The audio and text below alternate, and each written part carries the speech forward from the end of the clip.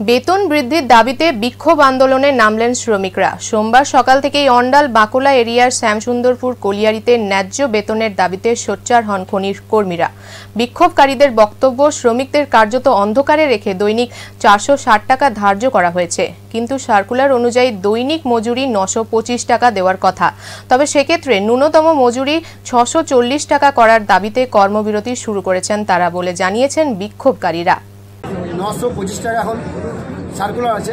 আমরা নশো পঁচিশ টাকা কিন্তু আমরা খুঁজছি না। আমরা খুঁজছি যেটা আপনি, আপনার যদি কোথাও কোথাও খরচা হয়েছে, সেটা আপনি বাদ করে জুড়ে দেখুন। যে আমি কত বেশি আপনার কাছে।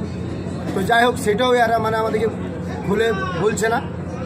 তো না বলার সাথে কিছুদিন আগে এখানে এরিয়া অফিসে মিটিং করেছে চারশো ষাট টাকা। তো চারশো ষাট টাকা নিয়ে আমাদেরকে কাউকে ডাকাও হয়নি, কাউকে জানানো হয়নি।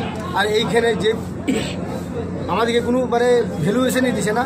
আমরা এখন দাবি রেখেছি, ছশো সত্তর টাকা যতক্ষণ না আমাদের দাবি মানছে, ততক্ষণ না আমরা নিজের কর্ম ব্যর্থ রাখব।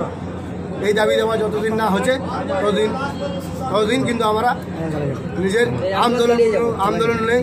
আমরা কোলেরই বন্ধ রাখিনি, আমরা নিজের কর্ম বন্ধ রেখেছি। যতক্ষণ না আমার নিজের দাবি দেওয়া না পেয়েছি, ততক্ষণ আমরা কর্ম